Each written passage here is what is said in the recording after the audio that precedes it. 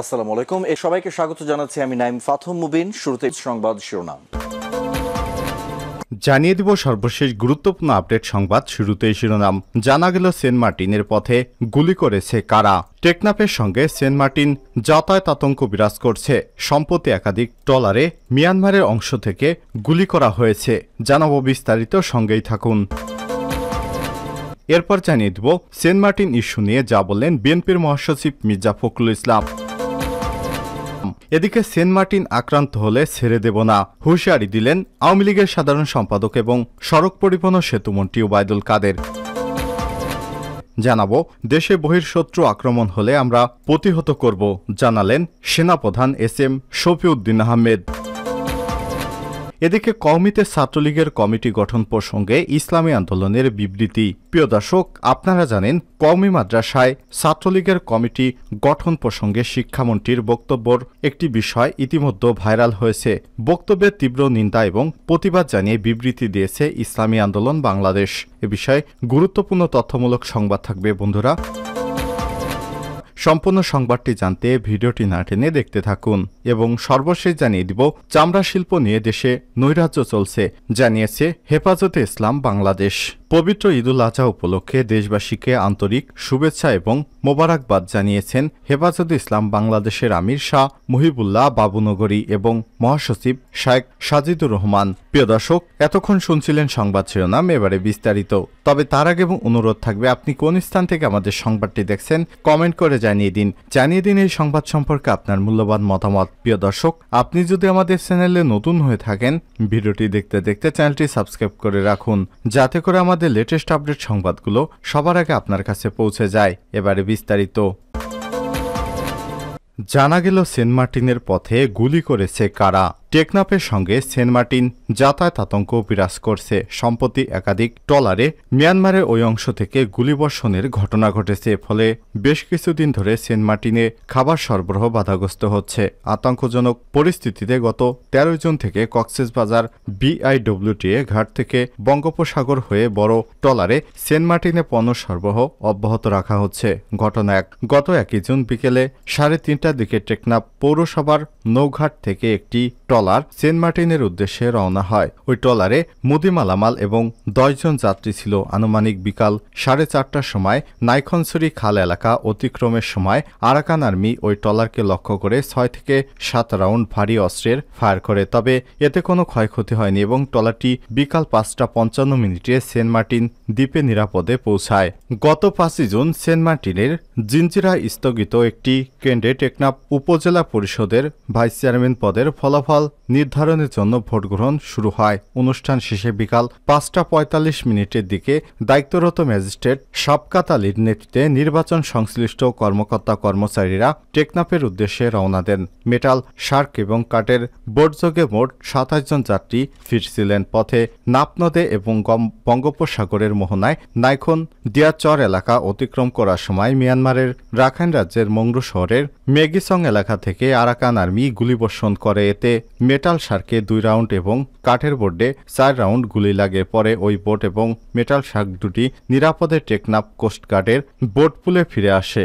ঘটনা তিন।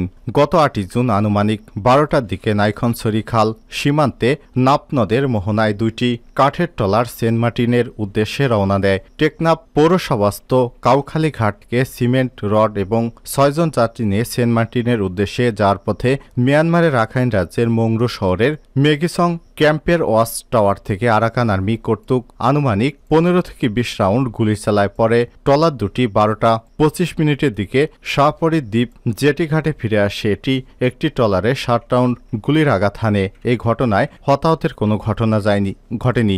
ঘটনা চার, এগারোই জুন সকাল দশটা তিরিশ মিনিটের দিকে টেকনাফের উপজেলার সাবোরাং ইউনিয়নের গোলার চত্বরের বিপরীতে মিয়ানমারের নাইখন্দিয়া খাল সীমান্তে নাপ নদীর মোহনা হয়ে একটি স্পিডবোট যোগে সেন্ট মার্টিনের পাঁচজন স্থানীয় বাঙালি সাপরির দ্বীপ জেটি থেকে সেন্ট মার্টিনে যাচ্ছিল।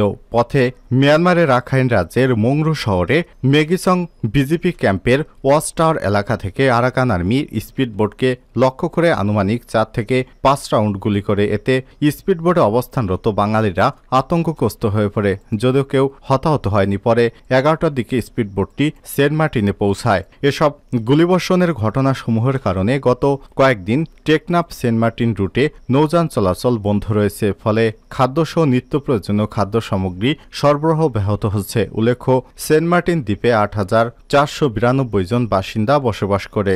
জেলা এবং উপজেলা পর্যায় থেকে খাদ্য বা পণ্য সরবরাহ করা না গেলে এই দ্বীপের বাসিন্দারা খাদ্য সংকটে পড়তে পারে, কারণ সেন্ট মার্টিনের সাধারণ জনগণ মূলত টেকনাফ থেকে খাদ্যপণ্য নিয়ে সেন্ট মার্টিন দ্বীপে জীবনযাপন করে। সে কারণে সেন্ট মার্টিনবাসীদের জন্য কক্সবাজার থেকে বড় টলারে খাদ্য এবং অন্যান্য পণ্য সরবরাহ করা হচ্ছে। জানা যায়, নৌযান চলাচল স্থগিত এবং খাদ্য সংকটের পাশাপাশি মিয়ানমার নৌবাহিনীর টহল বৃদ্ধি পায়। দ্বীপটির স্থানীয়দের মধ্যে আতঙ্ক বিরাজ করছে। এমন অবস্থায় প্রশাসন কর্তৃক দ্বীপের স্থানীয়দের আতঙ্কিত না হওয়ার জন্য স্থানীয় প্রশাসনের পক্ষ থেকে নানা পদক্ষেপ গ্রহণ করা হয়েছে। তবে এ সমস্যা স্থায়ী সমাধানের জন্য টেকনাপের সাবরং ট্যুরিজম ইকো পার্ক সংলগ্ন সাগর উপকূলে একটি জেটিঘাট নির্মাণ করার দরকার বলে মনে করছে স্থানীয়রা। উল্লেখ্য টেকনাপের সাবরাং ইকো পার্ক বিচ থেকে সেন্ট মার্টিন দ্বীপের দূরত্ব আনুমানিক চব্বিশ কিলোমিটার। অন্যদিকে বর্তমান জেটিঘাট, দমদমিয়া, কেয়ারি জেটিঘাট থেকে সেন্ট মার্টিনের দূরত্ব আনুমানিক চৌত্রিশ কিলোমিটার। টেকনাপের সাবরং ট্যুরিজম ইকো পার্ক সংলগ্ন সাগর উপকূলে জেটিঘাট নির্মাণ করা হলে সেন্ট মার্টিনের সঙ্গে টেকনাফের যোগাযোগ সহজ এবং কোপ সময়ে সম্পন্ন হবে এবং স্থানীয় জেলে পর্যটক সেন্ট মার্টিনের স্থানীয় বাসিন্দাদের টেকনাফ সেন্ট মার্টিন রুটে গমন করা কর সহজ সাপেক্ষ সহজ এবং নিরাপদ হবে। জানা যায়, আনুমানিক প্রায় এক দশক পূর্বে সেন্ট মার্টিন দ্বীপ সংলগ্ন স্থানে বঙ্গোপসাগরের মাঝে দুটি স্থানে